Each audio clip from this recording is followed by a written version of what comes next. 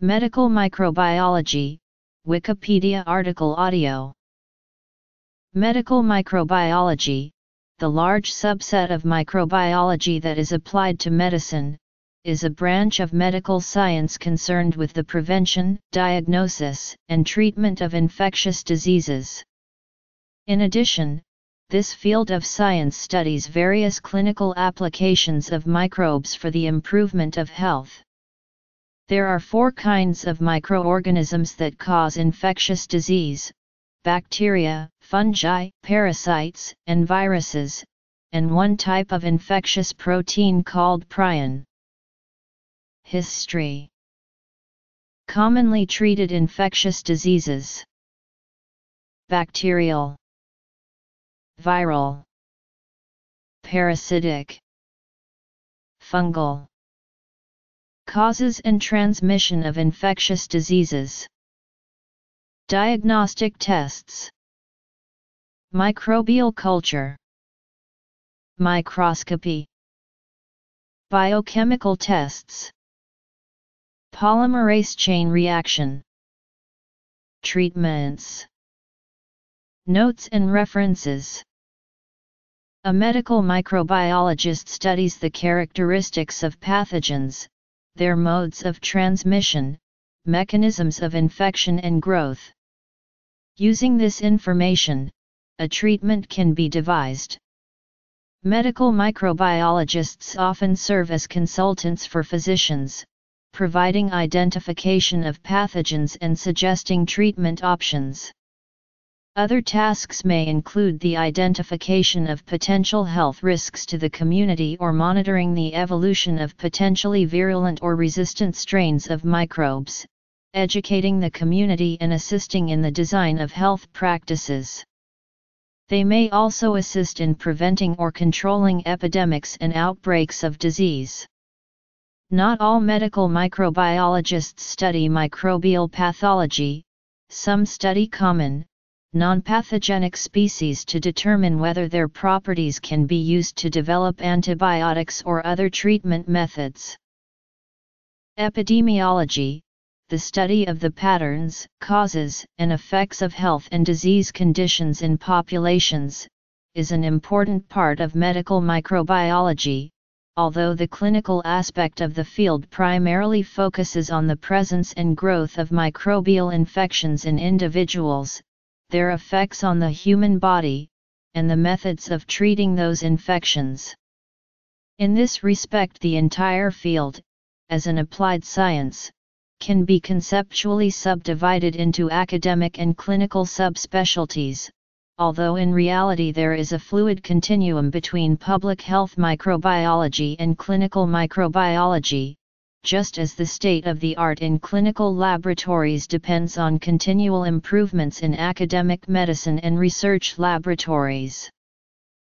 In 1676, Anton van Leeuwenhoek observed bacteria and other microorganisms, using a single lens microscope of his own design. In 1796, Edward Jenner developed a method using cowpox to successfully immunize a child against smallpox. The same principles are used for developing vaccines today. Following on from this, in 1857 Louis Pasteur also designed vaccines against several diseases such as anthrax, fowl cholera, and rabies as well as pasteurization for food preservation. In 1867 Joseph Lister is considered to be the father of antiseptic surgery. By sterilizing the instruments with diluted carbolic acid and using it to clean wounds, post-operative infections were reduced, making surgery safer for patients. In the years between 1876 and 1884 Robert Koch provided much insight into infectious diseases. He was one of the first scientists to focus on the isolation of bacteria in pure culture. This gave rise to the germ theory, a certain microorganism being responsible for a certain disease. He developed a series of criteria around this that have become known as the Koch's postulates. A major milestone in medical microbiology is the Gram stain. In 1884 Hans Christian Gram developed the method of staining bacteria to make them more visible and differentiable under a microscope. This technique is widely used today. In 1929 Alexander Fleming developed the most commonly used antibiotic substance both at the time and now, penicillin. DNA sequencing, a method developed by Walter Gilbert and Frederick Sanger in 1977, caused a rapid change the development of vaccines, medical treatments, and diagnostic methods. Some of these include synthetic insulin which was produced in 1979 using recombinant DNA and the first genetically engineered vaccine was created in 1986 for hepatitis B. In 1995 a team at the Institute for Genomic Research sequenced the first bacterial genome, Haemophilus influenzae. A few months later, the first eukaryotic genome was completed. This would prove invaluable for diagnostic techniques. Infections may be caused by bacteria, viruses, fungi, and parasites. The pathogen that causes the disease may be exogenous or endogenous. The site at which a microbe enters the body is referred to as the portal of entry. These include the respiratory tract, gastrointestinal tract, genitourinary tract, skin, and mucous membranes. The portal of entry for a specific microbe is normally dependent on how it travels from its natural habitat to the host. There are various ways in which disease can be transmitted between individuals. These include Like other pathogens, viruses use these methods of transmission to enter the body, but viruses differ in that they must also enter into the host's actual cells. Once the virus has gained access to the host's cells, the virus genetic material must be introduced to the cell. Replication between viruses is greatly varied and depends on the type of genes involved in them. Most DNA viruses assemble in the nucleus while most RNA viruses develop solely in cytoplasm. The mechanisms for infection, proliferation, and persistence of a virus in cells of the host are crucial for its survival. For example, some diseases such as measles employ a strategy whereby it must spread to a series of hosts. In these forms of viral infection, the illness is often treated by the body's own immune response, and therefore the virus is required to disperse to new hosts before it is destroyed by immunological resistance or host death. In contrast, some infectious agents such as the feline leukemia virus, are able to withstand immune responses and are capable of achieving long-term residence within an individual host, whilst also retaining the ability to spread into successive hosts. Identification of an infectious agent for a minor illness can be as simple as clinical presentation, such as gastrointestinal disease and skin infections.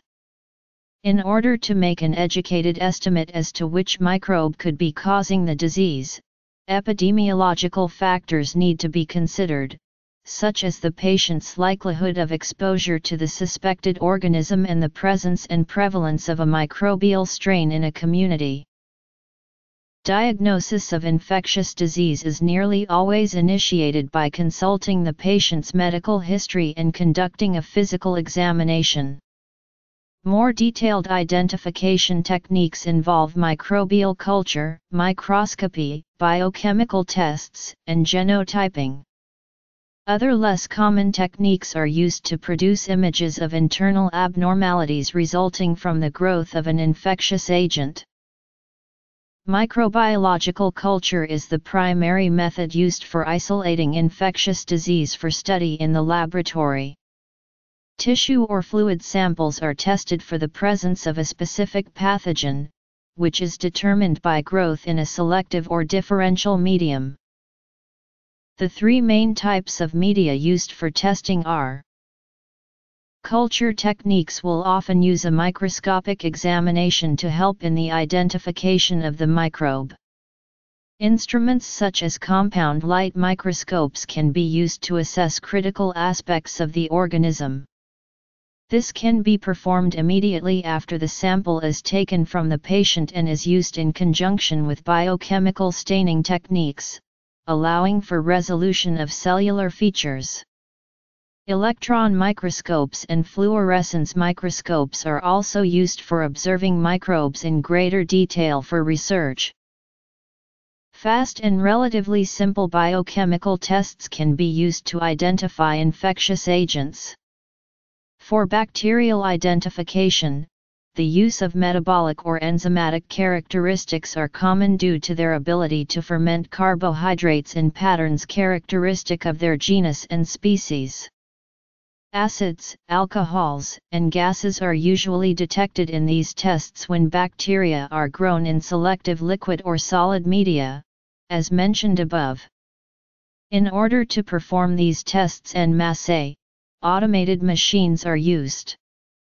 These machines perform multiple biochemical tests simultaneously, using cards with several wells containing different dehydrated chemicals. The microbe of interest will react with each chemical in a specific way, aiding in its identification. Serological methods are highly sensitive, specific, and often extremely rapid laboratory tests used to identify different types of microorganisms.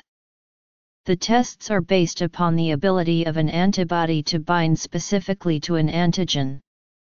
The antigen is bound by the antibody, allowing this type of test to be used for organisms other than bacteria.